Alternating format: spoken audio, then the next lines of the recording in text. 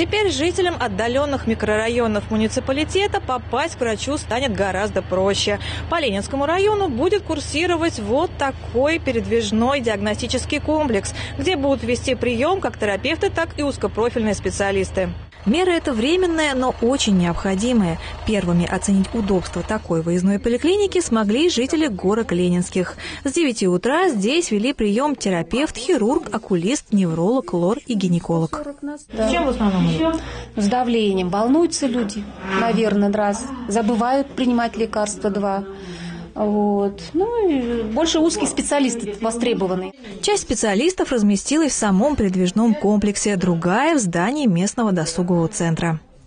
Параллельно здесь же люди могут пройти а, диспансеризацию в плане лабораторного обследования, сахар крови, общий анализ крови, уровень холестерина посмотреть, да, то есть а, необходимое обследование провести, сделать сразу же ЭКГ и флюорографию еще гинеколог у нас принимает, да, то есть, э, в принципе, все этапы диспансеризации одним моментом мы захватываем.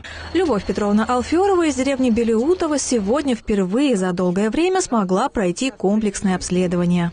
Три года я в больницу не ходила, а здесь все рядом. А почему три года далеко, да? Далеко.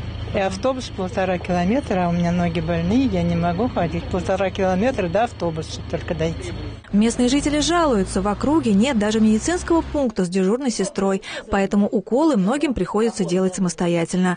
Хотя помещение для медработника есть. Здесь, на Полковникова, 14, в советское время располагался сестринский пост.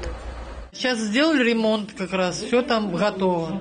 По, по требованиям, вот э, были из э, на, э, Гостехнадзора, или как там, по требованиям сделали ремонт, пожалуйста, заезжайте. Хотя бы какую-то часть времени, чтобы сидела медсестра и назначенная врачом уколы делала. Потому что не каждый может сделать себе сам, и тем более доехать до горок Ленинских или до Видного. Только за первые два часа работы выездного комплекса ВРКБ к медикам обратились 38 человек. 19 из них сдали кровь. Почти все пришедшие сделали ЭКГ и флюорографию. Вдохнуть и не дышать. Такие выезды планируется организовывать раз в месяц не только для взрослых, но и для детей. 6 мая поликлиника на колесах отправится в поселок Володарского. Екатерина Борисова, Сергей Ларин, Елена Кошелева. Видное ТВ.